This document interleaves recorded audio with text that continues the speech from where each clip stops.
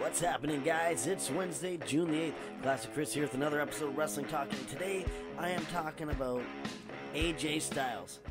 Has too much damage been done to him already in the WWE? I was watching Raw the past Monday night, and I was pretty bored, I must say. I don't know what it was, but it felt lacking to me. One thing that stood out was the John Cena AJ Styles promo. When AJ Styles said to John Cena, guys like you bury guys like me, when you actually sit down and think about it, AJ Styles is right. Just look at the feud AJ Styles had with Roman Reigns. The Roman Wrecking Ball was 2 0. Styles made Roman Reigns look like a beast, while Styles looked pathetic in those matches. Two Styles clashes, one on a chair, not enough. One spear, more than enough. That's ridiculous. And oh, I'm still angry about that Extreme Rules match. It just bugs me what they did to AJ Styles.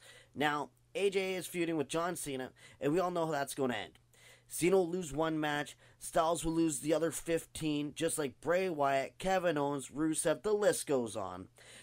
AJ Styles needs a big win badly. Steve Austin even said that on a recent podcast.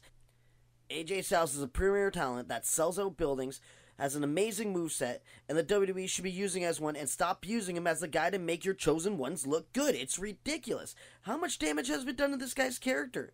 Let's look at the facts right now. How many matches has he won with the Styles Clash? To my memory, I think he only pinned Curtis Axel with that.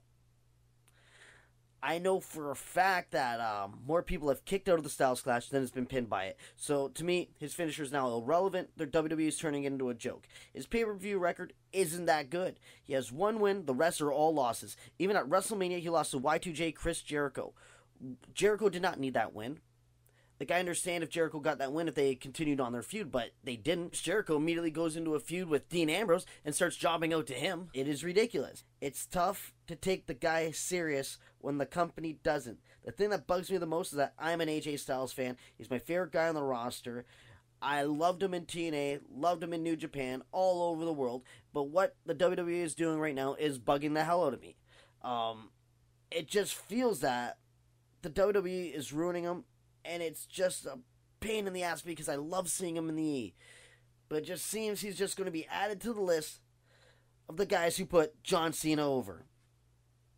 Let the John Cena Burial Tour continue, the 2016 edition. Now, am I the only one that feels that way? Let me know, guys. Leave a comment with your thoughts. Like the video, subscribe. Remember, keep watching Wrestling Talk with Classic Chris. And don't forget to check out the YouTube channel for Classic Chris, your home for everything wrestling talk. Plus, there's several matches I've called from Crossfire and Conflict Wrestling, so check them out, guys. This has been Wrestling Talk.